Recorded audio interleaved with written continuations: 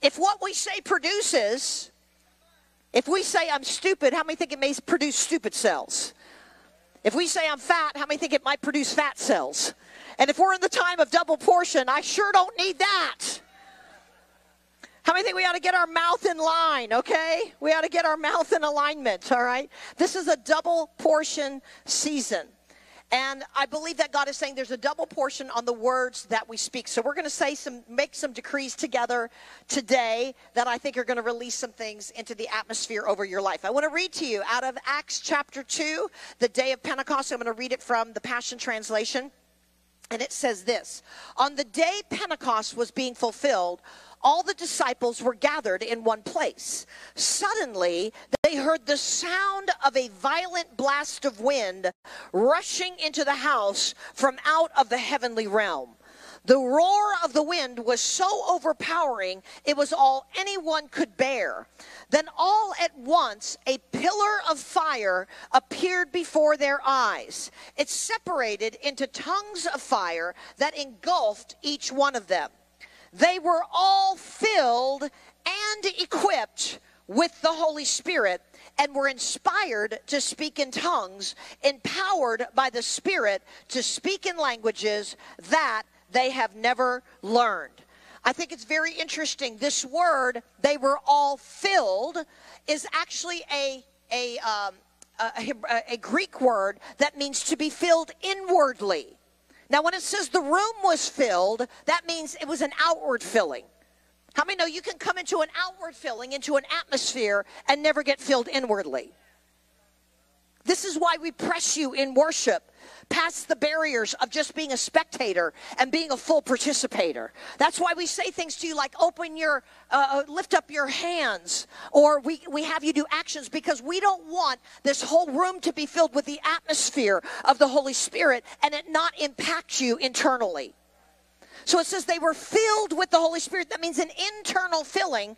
But I love this word. It means that they were filled, they were equipped, and they were completely furnished with everything that they needed to fulfill their ministry call.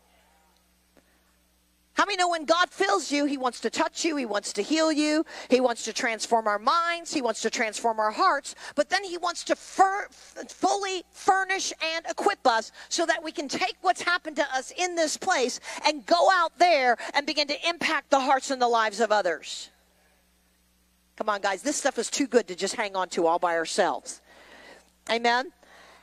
And so, at the very beginning of this Hebraic decade. We are now in the decade, uh, the, the, the year 5781, 2021, 5781 on the Hebraic calendar, um, is uh, when the very first day of Rosh Hashanah, when the calendar flipped over to this new decade, I woke up in bed and I heard the Lord say to me, um, You've now entered into the decade of the dynamo. I jumped up, I wrote it down, I think we kind of have an idea of what dynamo means. But I began to press in and try to understand what it was that the Lord was saying to us for this new season that we're in. So I looked up the word dynamo, and as you'll see in the overhead, it means a forceful, energetic individual. Somebody that is considered a fireball or a live wire. Come on, how many of you would consider yourself a fireball? I know there's a few of you, but I want you to know for all of you that didn't raise your hand, you've got a fireball on the inside of you. Okay? But a, a dynamo is actually a generator that produces direct current for power or for electricity. And so, what's very interesting is that this word dynamo, when God said this is going to be the decade of the dynamo, this word dynamo actually comes from a Greek word that we're all familiar with. It is the same root word that produces the word dunamis. How many know this word dunamis? Dunamis in Greek is found throughout the New Testament, and we find it in Acts chapter 1 in direct relationship to what was happening in Acts chapter 2 on the day of Pentecost. Because in Acts chapter 1, it said Jesus told his disciples, I'm getting ready to go to heaven, and here's my instructions to you go back to Jerusalem and wait for the promise of the Father. What was the promise of the Father? the Holy Spirit. Do you know that when Jesus said that, there were 500 people present? But on the day of Pentecost, there was only 120.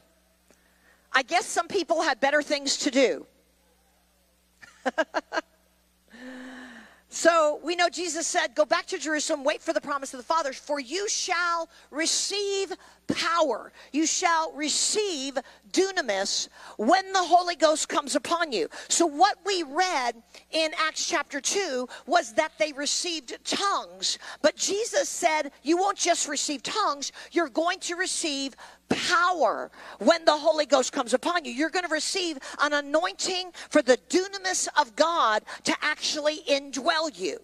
Now, what I have found is that throughout Pentecostal charismatic Christendom, when most people get filled with the Holy Spirit, they're looking primarily for that one thing. They're looking to speak in other tongues.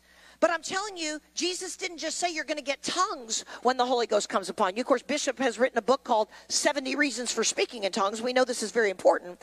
But he said you're going to get dunamis when the Holy Ghost comes upon you. And the word power isn't really even enough to describe what Jesus said we receive when we receive the Holy Spirit. How many wave your hand at me if you've got the Holy Spirit on the inside of you, okay?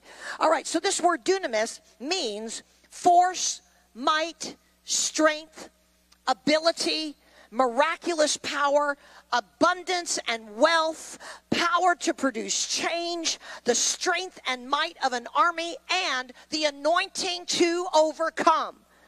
Come on, so you could actually put any of those words in to the place when Jesus said, You shall receive divine ability when the Holy Ghost comes upon you. You shall receive strength you shall receive the force and might of an army on the inside of you when the Holy Ghost comes upon you. You shall receive the anointing to overcome when the Holy Ghost comes upon you. You shall receive abundance and wealth when the Holy Ghost comes upon you. You shall receive dunamis when the Holy Ghost comes upon you. And that is going to empower you to go out and be my witnesses. And so what we have to understand is that on the day of Pentecost, what God displayed to us is that He's giving us a power generator. But how many know a generator doesn't work unless you turn it on? So, how do we turn it on? We open up our mouths. We open up our mouths, and our mouth becomes the on switch for the generator of power. Amen? When we pray in tongues, it's generating power. Scripture tells us that we're built up in our most holy faith when we start praying in tongues.